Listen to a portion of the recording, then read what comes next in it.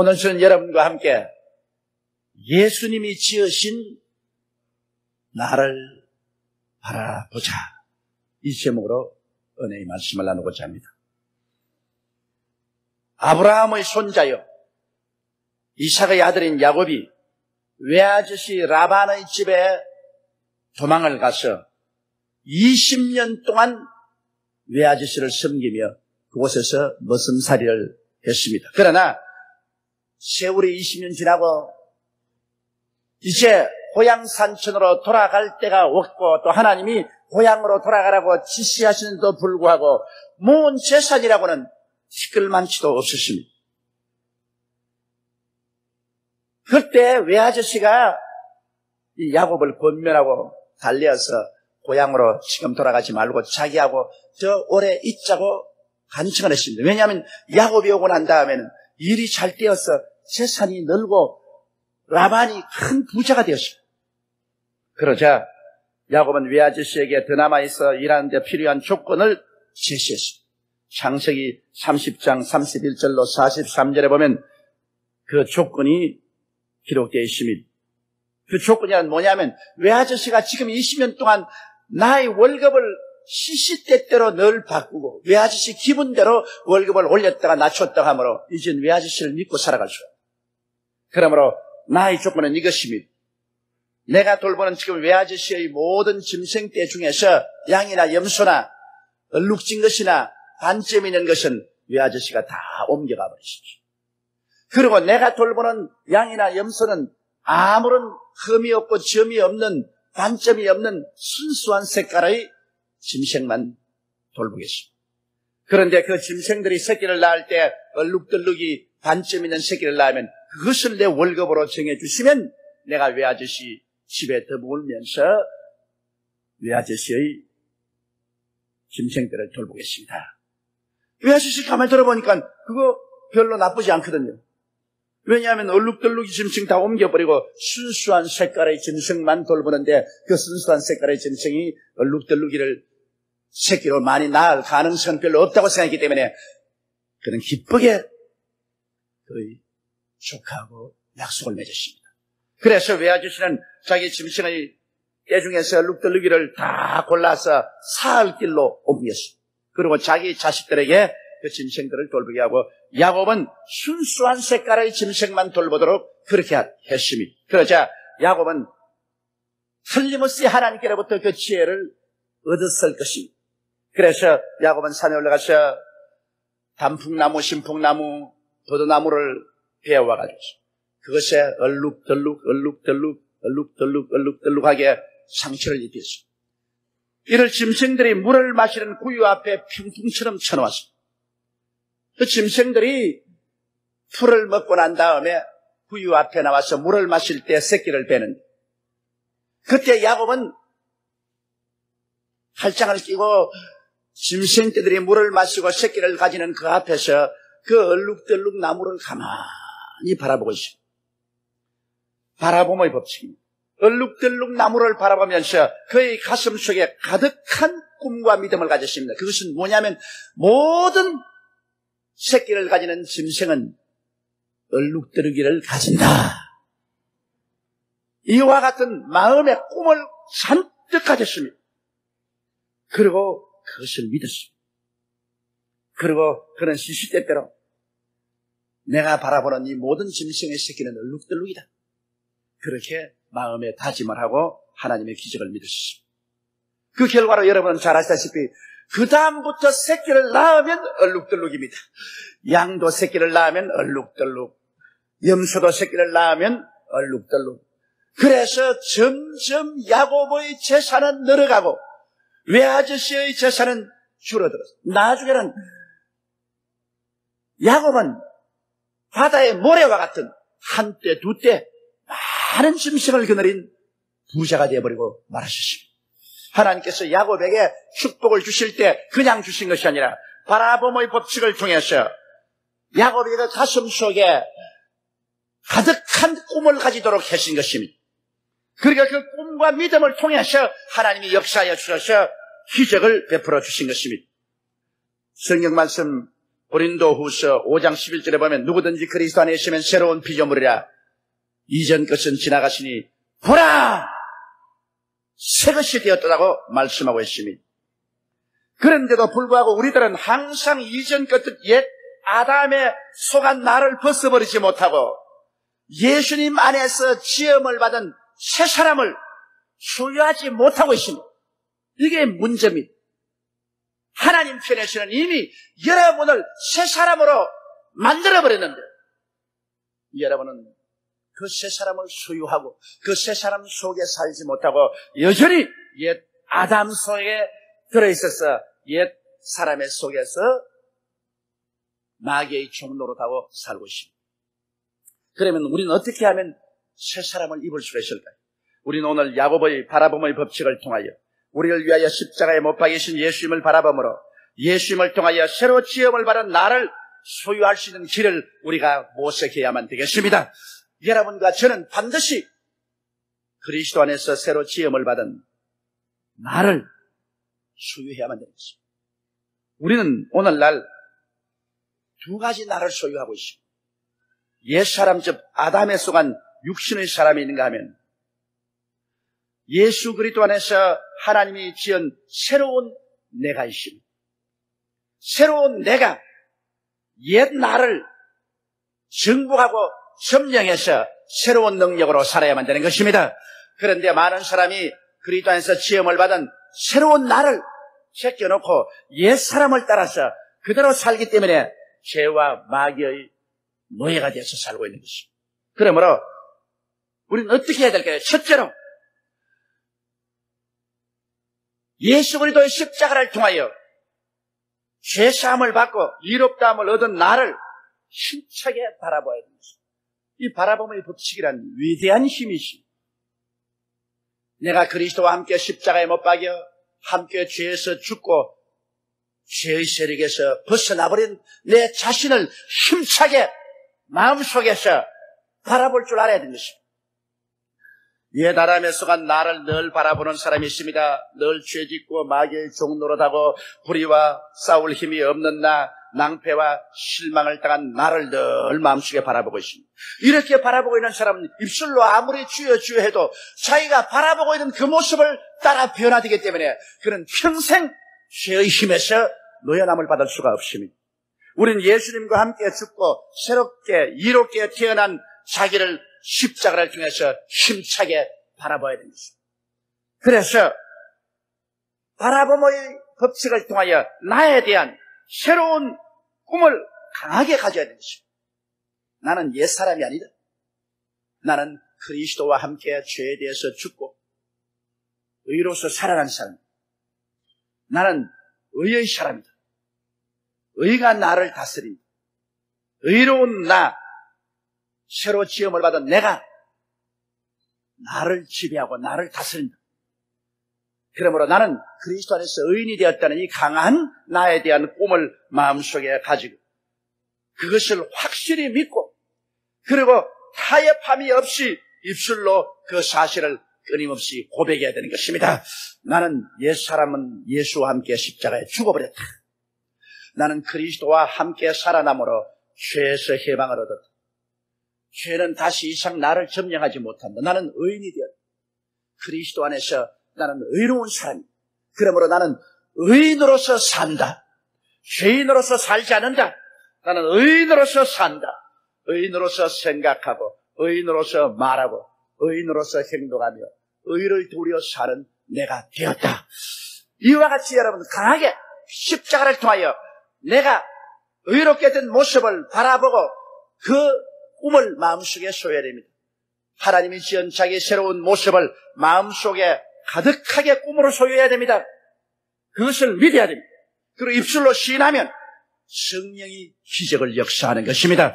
바라봄을 통하여 마음속에 새로운 자기의 이미지를 꿈으로 소유하고 그것을 믿고 입으로 시인할 때야 비로소 하나님의 성령께서 그 새롭게 된 위대한 능력으로 여러분 속에 역사하여 주셔서 새 사람으로 살 수 있게 만들어 주시는 것입니다.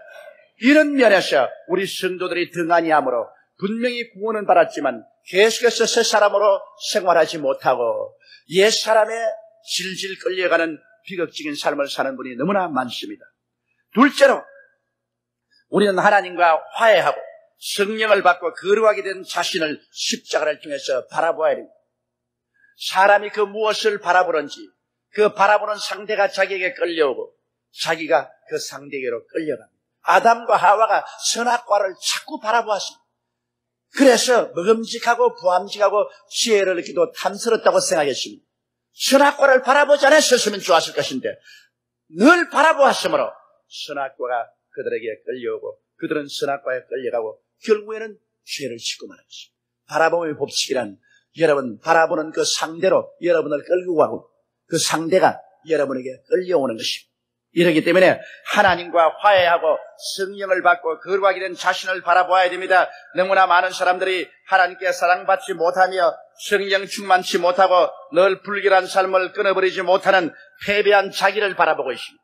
무의식 중에 나는 패배자입니다. 나는 거룩하지 못합니다. 나는 죄인입니다. 어찌할 수가 없습니다. 이렇게 자기의 모습을 바라보고 있습니다. 그러고 난 다음에 주여 나를 거룩히 하여 주시옵소서 아무리 외친들 그게 무슨 효과가 있습니까? 여러분이 참으로 변화받은 자아를 가지고 살기 위해서는 성령 충만하고 하나님의 사랑이 넘치며 불길한 삶을 청산하고 거룩하게 된 자신을 예수님의 십자가를 통하여 힘차게 바라보아야만 되는 것입니다. 새롭게 된 자기 모습을 십자가를 통해서 바라봐야 됩니다. 그리고 그와 같은 자아를 마음속에 가득히 꿈꿔야 됩니다. 새롭게 된 자신의 이미지를 마음속에 꿈으로 받아들여서 이것이 내 자신이다.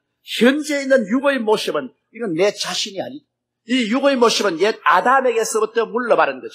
나는 그리스도 안에서 새로 지음을 받았기 때문에 새로 지음 받은 사람은 그리스도 안에서 성령이 충만하고 모든 부정과 불결을 제낀 거룩한 사람이 되었 그 사람을 내 마음속에 받아들이고 그 사람을 마음속에 가득히 꿈꾸고 그런 사람이 되었다고 확실히 믿고 그것을 입으로 강하게 선언해야만 되는 것입니다. 나는 그리스도로 더불어서 모든 부정과 불결에서 죽었다. 나는 성령이 충만한 성령께서 나의 생애 속에 모든 거룩함으로 채워주시고 그러므로 나는 생각이 거룩하고 말이 거룩하고 행동이 거룩하게 되었다. 나는 거룩한 사람이다. 이것을 십자가를 통해서 내가 바라보고 그것을 내 상상 속에 가득히 받아들이고 그리고 이것을 강하게 말로 시인하게 될 때 성령께서 역사하기 시작해서 여러분의 생활이 성령으로 충만하게 되고 여러분의 삶이 성결로 충만하게 되는 기적적인 은혜가 나타나기 시작하는 것입니다. 그러므로 우리 이식을 바꾸고 우리 이식이 개혁되기 전에는 하나님의 성령이 역사할 수 없습니다. 우리의 온갖 구하는 것이나 생각하는 것에 넘치도록 능하겠다고 했는데 우리 생각이 옛 사람으로 꽉 들어차서 나는 못해요. 나는 안 돼요. 나는 할 수 없어요 하고 있는데 어떻게 주님이 역사합니까? 우리의 구하는 것이나 생각하는 것을 통해서 하나님께서 채워주시는데요. 그러므로 이식이 변화되어야 됩니다. 이식이 개혁되어야 하는 것입니다.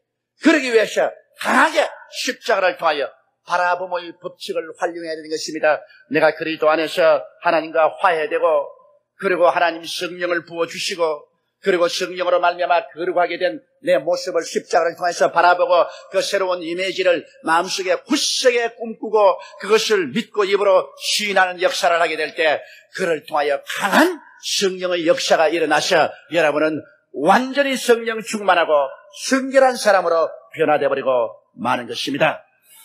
셋째로 우리는 예수님의 채찍에 맞은 상처로 십자가에서 나의 연약과 병으로 처참하게 앓는 고난을 통해 병난 나를 힘차게 바라보아야 됩니다. 많은 사람들이 자기 감각을 통해서 자기는 병으로 인한 육체적인 고통을 너무나 강하게 느끼고 있기 때문에 늘 병을 앓는 자기를 생각합니다. 나는 병자다. 폐병 환자다. 심장병 환자다. 나는 담력병 환자다. 나는 암이 걸렸다. 병의식으로 빡 들어차 있습니다. 그러면서 주여 나를 고쳐주시옵소서. 생각이 벌써 병자로 꽉 들어 차는데 병든 자기의 모습으로 꽉 들어 차놓고 입술로만 기도해봤자 무슨 소용이 있습니까? 먼저 자기의 마음의 생각이 달라져야만 되는 것입니다. 그렇기 때문에 우리는 예수 그리스도의 십자가를 바라보고 예수께서 십자가성에서 우리 연약함을 친히 담당하시고 병을 짊어지고 가신 것을 통해 내가 병에서 고침받은 모습을 힘차게 바라봐야 되는 것입니다. 십자가를 바라볼 때 나는 저 예수 그리스도의 십자가를 통하여 나는 병에서 다 고침받은 사람이다. 이러한 생각을 가지고 십자가를 힘차게 바라보고 내 마음에 낫고 건강한 모습을 가득히 꿈꿔야 되는 것입니다. 내 가슴 속에 내 새로운 인생, 새로운 사람으로서 모두 다 고침을 받고 건강한 모습으로 가득 채워야 됩니다. 물론 지금 내 옛사람은 병들어 있다고 해도 좋습니다. 관절염, 신경통, 폐병, 암이 걸려 있어도 그것은 옛사람이 앓는 것입니다.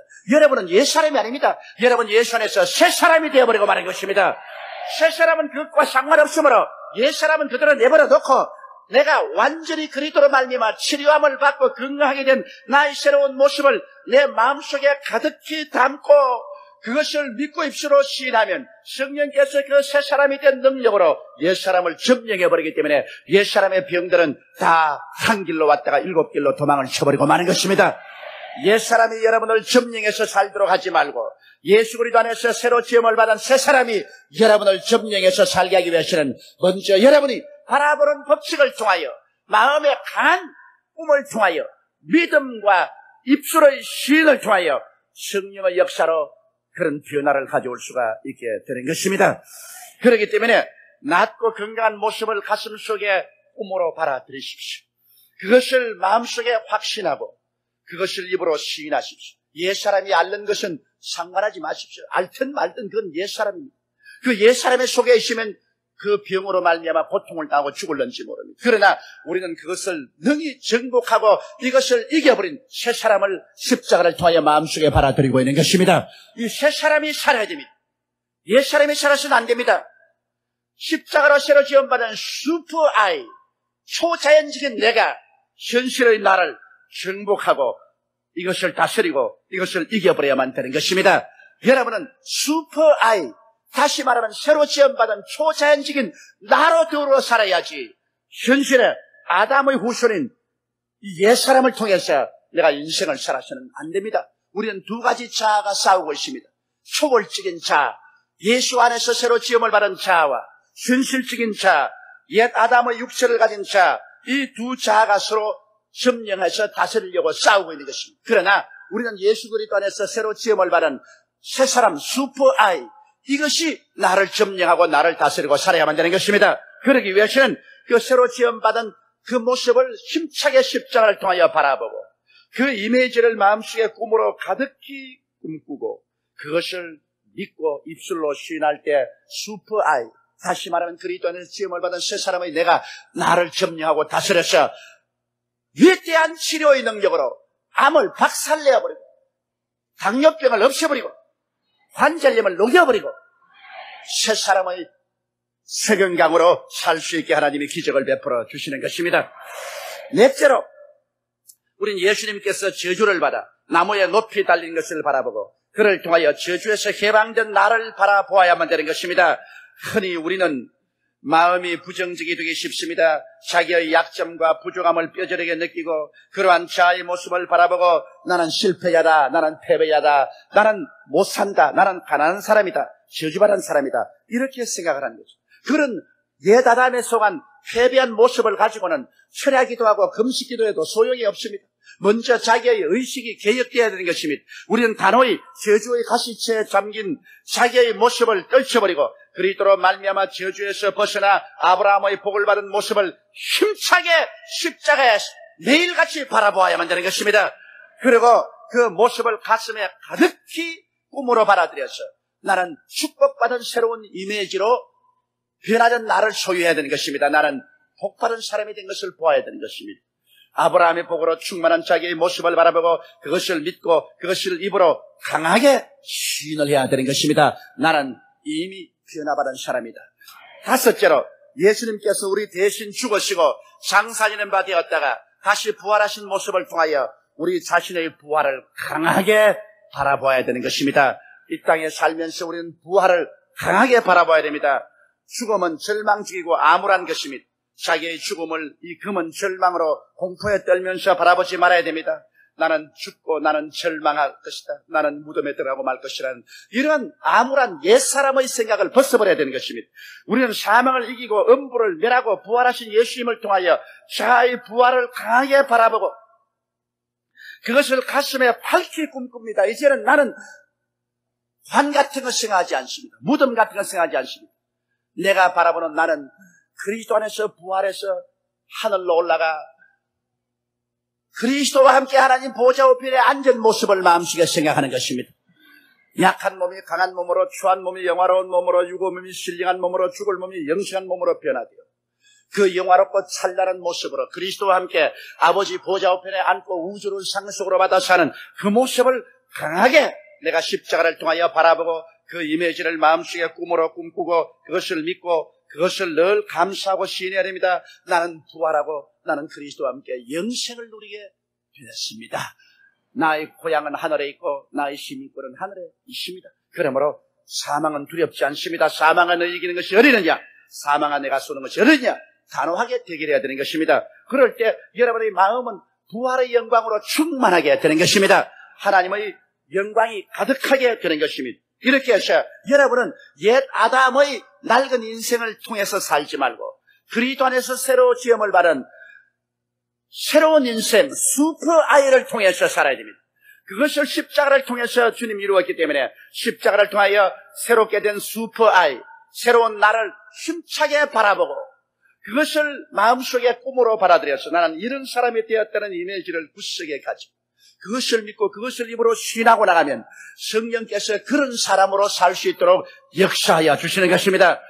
성경에는 바울 선생께서 갈라디아서 3장 1절에 이렇게 기록했습니다. 어리석도다 갈라디아 사람들아 예수 그리스도께서 십자가에 못 박인 것이 너희 눈앞에 밝히 보이거늘 너가 너희를 누가 너희를 빼더냐 그렇게 탄식했습니다. 십자가에 못 박이신 예수님이 우리 눈앞에 항상 밝히 보여야만 하는 것입니다. 바울 선생은 갈라디아 교인들에게 십자가에 못 박인 예수를 밝히 보여주었습니다.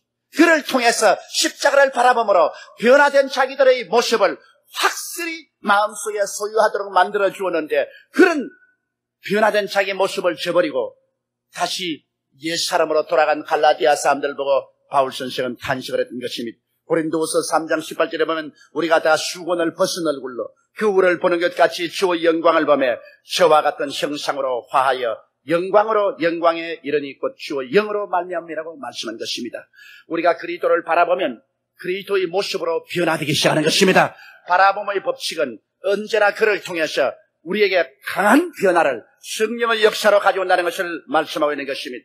야고보스 1장 23절로 25절에도 누구든지 도를 듣고 행하지 아니하면 그는 그 울로 자기의 생긴 얼굴을 보는 사람과 같으니 제 자신을 보고 가서 그 모양이 어떠한 것을 곧 잊어버리거나 자유케 하는 온전한 율법을 들여다보고 있는 자는 듣고 잊어버리는 자가 아니요 실행하는 자니 이 사람이 그 행하는 일에 복을 받으라고 말한 것입니다. 우리는 오늘 이 시간에 십자가를 통하여 새로 지음을 받은 새로운 내 자신 슈퍼 아이를 자세히 들여다보았습니다. 여러분의 어떠한 모습인지 십자가를 통하여 옛 사람이 아닌 새 사람의 모습을 자세히 오늘 바라보았었습니다. 그 모습을 이제 교회 밖에 나가서 잊어버리고 옛 사람 그대로 걸어간다면 여러분은 평생에 옛 사람에서 벗어나지 못합니다. 그러나 오늘 십자가를 통해서 내가 새 사람이 된 것을 설교로 들었으니 그것을 마음에 강하게 바라보고 그 모습을 꿈꾸고 그것을 믿고 입으로 시인하면서 나가면 여기에서 성령이 역사하사 자유케 하는 능력이 나타나기 시작하는 것입니다. 바라봄의 법칙과 마음의 꿈과 믿음과 입술의 고백은 성령께서 사용하는 창조적인 법칙인 것입니다. 이를 통하여 여러분은 영혼이 잘 되게 되고 범사가 잘 되게 되고 강건하게 되며 생명을 얻때 넘치게 하는 실천적인 체험의 역사가 일어나기 시작하는 것입니다. 십자가는 괜히 있는 것이 아닙니다. 십자가를 바라보고 십자가에서 예수님이 지은 새로운 모습으로 영광에서 영광으로 변화되라고 십자가가 있는 것입니다.